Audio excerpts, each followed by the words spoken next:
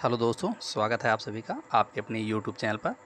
दोस्तों, आज के इस वीडियो में हम लोग राष्ट्रीय उद्यान के बारे में पढ़ेंगे, जो कि आपके किसी भी एग्ज़ाम की दृष्टि से बहुत ही इम्पोर्टेंट है, जिसमें पर्यावरण से संबंधित क्वेश्चन पूछे जाते हैं। तो चलिए शुरू करते हैं इस वीडियो को। क्वेश्चन है, पापीकोंडा राष्ट्रीय उद्यान किस राज्य में स्थित है? पापीकोंडा राष्ट्रीय उद्यान की अगर बात करें तो ये स्थित है आंध्र प्रदेश राज्य में। ऑप्शन सी राइट हो जाएगा। मेघालय की अगर बात करें तो मेघालय में नोकरेक स्थित है। अगला क्वेश्चन निम्न में से कौन सा राष्ट्रीय उद्यान केरल में स्थित है? केरल में स्थित राष्ट्रीय उद्यान की अगर बात करें तो ये सभी स्थित है। इराविकुलम भी स्थित है, अन्नाईमुदी भी स्थित है और पेरियार भी स्थित है। यानी कि तीनों ही राष्ट्रीय उद्यान केरल राज्य में स्थित है। नेक्स्ट क्वेश्चन निम्न में से भारत का एकमात्र तैरता हुआ राष्ट्रीय उद्यान कौन सा है? तैरते हुए राष्ट्रीय उद्यान की अगर बात करेंगे तो ये स्थित है मणिपुर में, जो कि केवल लामजाओ है। ये एकमात्र तैरता हुआ राष्ट्रीय उद्यान है। हरियाणा में कौन सा राष्ट्रीय उद्यान स्थित है?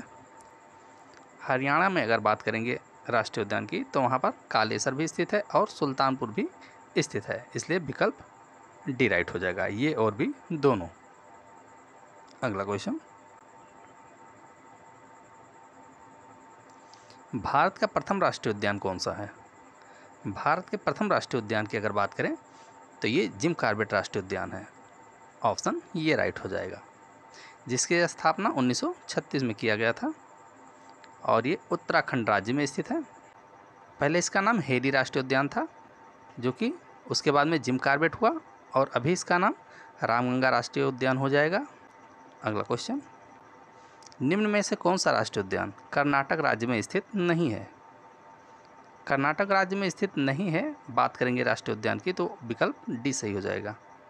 सिमलीपाल। सिमलीपाल, ये राष्ट्रीय उद्यान कर्नाटक राज्य में नहीं है, जबकि अंसी, बांदीपुर और कुद्रेमुख, ये तीनों ही राष्ट्रीय उद्यान कर्नाटक राज्य में स्थित हैं। अगला क्वेश्चन बांदीपुर राष्ट्रीय उद्यान किस वर्ष स्थापित किया गया था?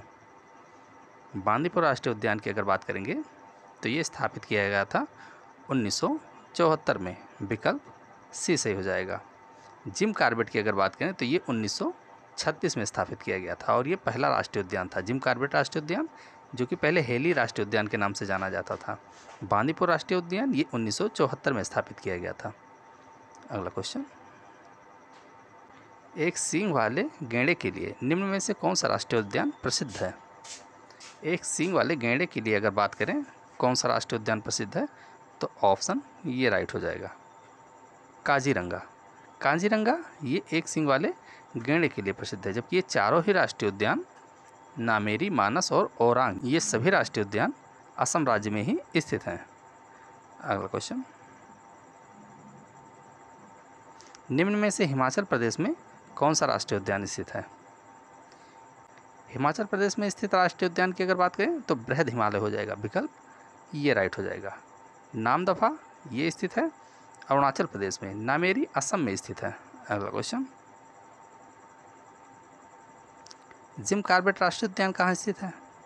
जिम कार्बेट राष्ट्रीय उद्यान की अगर बात करें तो ये स्थित है उत्तराखंड में। ऑप्शन, सी राइट हो जाएगा। तो दोस्तों, ये वीडियो कैसा लगा, इसे कमेंट बॉक्स में ज़रूर बताएँ। वीडियो पसंद आए तो वीडियो को लाइक करें शेयर करें चैनल को ज़रूर सब्सक्राइब करें और बेल आइकन पर प्रेस कर दें ताकि जब भी कोई नई वीडियो इस चैनल पर अपलोड की जाए तो उसकी नोटिफिकेशन सबसे पहले आप लोगों को मिल सके। धन्यवाद।